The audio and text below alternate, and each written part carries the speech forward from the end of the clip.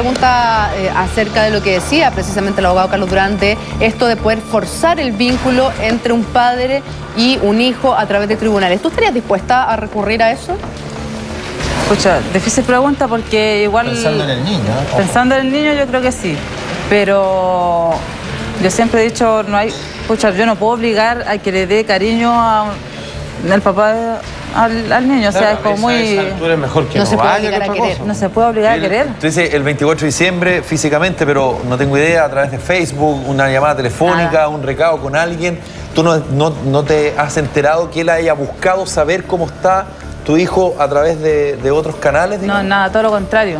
Yo tenía que llamarlo diciendo porque un día se cayó mi hijo y, y se pegó en el labio y tuvieron que coserle y todo y ponerle punto y lo llamo por teléfono para, más que nada para avisarle a él qué le había sucedido al niño. Fernanda, y el niño Pero- pregunta por su papá, el niño los ve, los vio para la Navidad. Yo me imagino que es una realidad que mucha gente le pasa en la casa. ¿Qué dice Luquita? Porque de repente él debe extrañar a, a quien lo acompaña a jugar a la pelota, no sé, que lo lleva al jardín.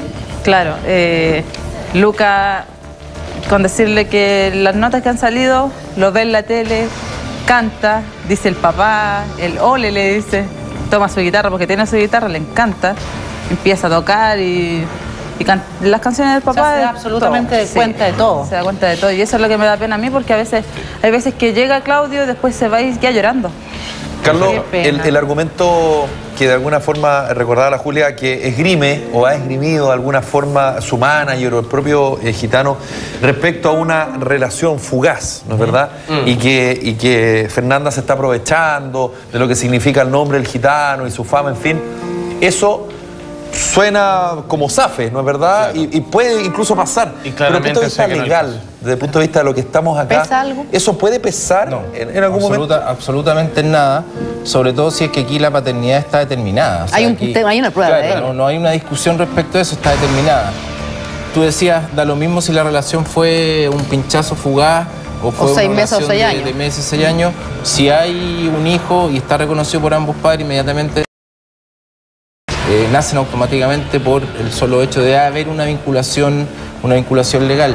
Y respecto de esto que hablamos de forzar la relación, que a veces puede sonar como un poco contraproducente o contrapelo y a veces incluso podría decir es poco aconsejable, yo diría que al final es tremendamente aconsejable. A mí me ha tocado ver muchos casos en donde eh, las mamás han demandado eh, eh, para que el papá tenga un- una cercanía con su hijo y al comienzo ha sido la cosa medio tirante, media complicada, que quién lo va a buscar, que quién lo va a dejar, que la suegra, que al principio la cosa es bien complicada. Que es la parte de la organización también. Exacto, y, y- y el primer encuentro medio forzado. Porque hay emociones también mezcladas. Pero a medida que pasa el tiempo y que se empieza a dar una relación y una habitualidad, los papás terminan al final ultra enamorados de sus hijos y Es eso mismo. Claro. y eso mismo hace que el tema de la pensión de alimentos también fluya Ahora- de otra forma. Claro. Respecto a eso, Fernanda, disculpa que te haga una, una pregunta tan, tan íntima, pero dado el comportamiento que ha tenido el padre de tu hijo, que claramente en buen chileno podríamos decir que no está ni ahí, o está tan pocas veces que es ca- prácticamente lo mismo, ¿tú has pensado, por ejemplo, en buscarle un buen padre y que por supuesto cumpla al mismo tiempo como una buena pareja para ti? Hay personas, digamos, eh, hombres que quieren estar contigo y que aceptan a tu hijo porque... Eh, mira, yo no te conozco tanto, pero por lo que he leído, por el nivel de honestidad respecto a la distribución de plata, me doy cuenta que eres una buena mujer. Claramente dijiste, bueno, si no tengo la ayuda, yo me la arreglo. Eres realmente una buena persona. Entonces, en una de esas, esa preocupación por tu hijo, quizás ya comienza a buscarla en otra persona. Claro, eh, pucha, yo hace. Tuve una relación hace como siete meses, seis meses, la cual creía que era la persona, quería a mi hijo. Yo no estoy buscando una persona que, que pucha, sea el padre de mi hijo porque no lo va a hacer. Porque el padre es Claudio. Yo no voy a estar reemplazando a Claudio, o sea, poniéndole cualquier papá encima, porque. Por supuesto.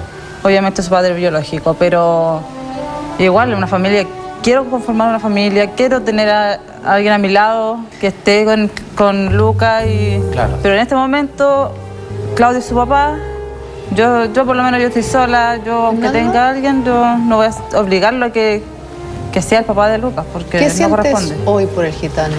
¿Qué te provoca el gitano? ¿Todavía estás enamorada de él? Mire, pasaron dos, dos años estuve sola. Dos años. Claudio, pucha, no les voy a mentir. Hace siete meses más o menos, ocho meses, tuve algo con él. Tuve una, un o sea, claro, un reencuentro. Perfecto. Pero él quería otra cosa y yo le dije, ¿sabes qué? ¿Cómo él Sí. quería otra cosa? Él no, no quería solamente besitos nomás. Ah, ok. Quería otra cosa y yo le dije, ¿sabes qué? Yo no soy, yo no fui, fui tonto una vez a lo mejor, pero dos veces no lo voy a hacer.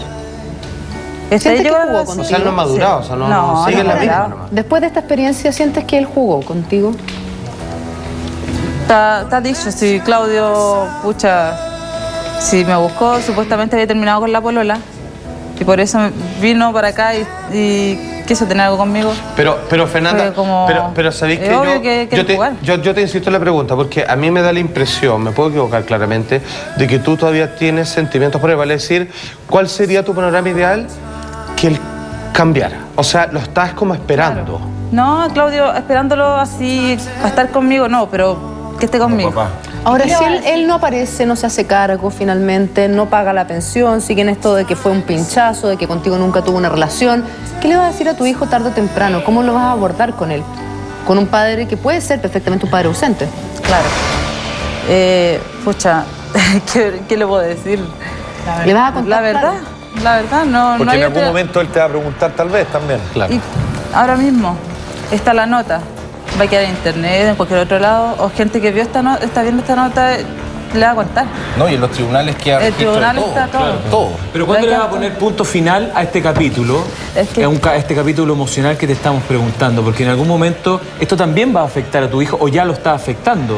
Claro, ya. ¿Cuándo le vas a poner punto final? Porque mucha- tú contaste que hace siete meses tuviste un reencuentro, no quisiste tropezar con la misma piedra, pero esos reencuentros pueden volver. O sea, para mí hoy día, lamentablemente, yo conocí, tuve la oportunidad en un evento de, de- de conocer a, a Gitano, así de saludarlo y todo, y lo vi un tipo re simpático, re quitado de bulla, un buen sí, sí. Pero ahora me queda totalmente todo lo contrario en la imagen. O sea, un gallo que en definitiva se aprovechó de, de una situación, independientemente que aquí la, la- la- la situación es de los dos, es compartido. Claro, sí. Pero toda la seguidilla de acciones que él está haciendo de aquí para adelante es error tras error. Entonces, tú, tú, porque yo pienso en tu hijo también, ¿cuándo vas a tomar la decisión de cortar esto y darle una tranquilidad a eso y a ti? La verdad, yo con esto, yo al punto de la de la orden de arresto, yo eso tengo que voy a seguir, aunque ya he, he interpuesto como seis órdenes de arresto ya y no se hacen efectivas. Fernanda, ¿y cómo has Al- mantenido a tu hijo todo este tiempo que no te ha dado plata? Eso es lo que me complica a mí. Porque en, este, en estos momentos yo no tengo trabajo. No estoy trabajando. Estoy reemplazando en, en el hogar Belén de Talca. Estoy, estoy reemplazando por 15 días, la cual esta semana ya como me falta como cuatro días por terminar. Eh, pucha, ahí con esa plata tendré que tratar de comprar pocos paños. ¿Te ayudan tu papá? Eso es difícil también porque mi mamá en este momento tiene cáncer, está enferma. Mi papá eh, es hipertenso, le sufrió un infarto cerebral leve. Tengo a mi hermana con su guagua que tiene hace ocho meses. Tengo una hermana de seis años y mi hijo de dos. Y mi papá ahora, está, ahora a fin de mes termina de trabajar en furgón escolar. Y hasta ahí. O sea, más encima tienes una responsabilidad también de tratar de llevar más recursos no solo para tu hijo, sino también para tus padres. Claro, y no tenemos casa, tenemos- estamos arrendando. ¿Qué edad tienes tú? Eso. Estamos arrendando. ¿Qué Yo tengo tienes? 20 años. 20, 20 años. años. ¿Y qué te- Él tiene 20. 20 también. Tiene edad. y qué- ¿Qué te pasa cuando de repente revisas un poco tu historia, ver lo que te ha sucedido a los 20 años de vida, tener que vivir todo este proceso tan doloroso y además de tanto desencanto, en donde la situación que estamos todos viendo a todas luces es que el padre de tu hijo puede terminar preso, además? Claro, yo me enteré aquí el- de- dando a conocer esto, no es tampoco de que eh, no, eh, quiero que lo metan preso solamente para que salga en la tele. ¿Tú quieres sobre la Yo buena? quiero que, pucha, responda con papá, que Exacto. cumpla, porque se supone que tiene que pagar la mitad, creo, para Pero Fernanda, salir. pero tú aceptas que hay una muy gran y fuerte posibilidad de que la relación con él solo termine en una cifra que aparezca todos los meses aquí en adelante en alguna cuenta de ahorro y nada más, ¿cierto? Y Claro, no, sí, eso lo tengo más que claro. Y, y que, Sí, que yo- es lo mínimo, digamos, pero Ojalá como que sea. quizás es lo único eh, y por fuerza de justicia Que con lo podría que va a poder contar Claro. con él, digamos, porque ya, o Y sea, cuando me cuenta que tienen un No, sí, yo- reencuentro y él simplemente, digamos, eh, quiere tener sexo contigo, me parece que estamos tratando con un niño, con alguien que no Ahora, se hace pero cargo, perdona, digamos, de... también hay que entender la historia del gitano. Yo creo que a él, efectivamente, el rol de padre le quedó grande. El poncho le quedó grande. Ahora él no tuvo padre. Él a lo mejor también está siendo mal asesorado. o sea, pueden haber junta. millones de opciones y de posibilidades eh, frente a su actuar.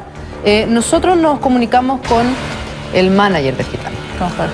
Con Jorge. Sí. Hablamos con él, quisimos hablar también eh, con el gitano. Tú dices que Jorge, el manager de eh, Claudio, se ha portado muy bien en algún comienzo con, Con él. contigo y con tu hijo. Sí. Posteriormente, que retoma la relación eh, contigo es el gitano. Como debe saca- ser, dicho sea claro, paso, y saca yo. al manager. Pero es que a mí me da la impresión que el manager siempre lo ha tratado de ordenar no, y de llevar por el camino correcto en toda su carrera. Sí, Entonces ah, no me claro, no pero me- hasta, hasta, que, hasta que dejó de... por eso te digo, o sea, entonces no me llama la atención que en algún comienzo asumiera él el compromiso de depositarle efectivamente a Fernando todos los meses y cuando deja de hacerlo, finalmente nos topamos con esta orden de arresto que debería pasar 15 días de reclusión nocturna. Quiero preguntarte, Carlos, efectivamente si durante eh, él puede llegar y cancelar una parte o la totalidad de esa deuda y así zafar de la reclusión nocturna o si finalmente lo pilla la policía, se va preso sí o sí. Sí, eh, sí o sí tiene que pagar el total de la deuda, o sea, la, obligación la tiene que solucionar, como se dice técnicamente. Pero la puede documentar. no, Tres no. cheques, cuatro cheques. Solamente no si, solamente si Fernanda aceptara. ¿Y tú estarías Si ella dispuesta, aceptara una, a una, una repactación o algo así, ahí sí, pero si no, tiene que pagar objetivamente lo que debe. ¿Tú, tú estarías dispuesta a aceptar eso? Como él ha sido conmigo, como ha sido con mi hijo, no aceptaría.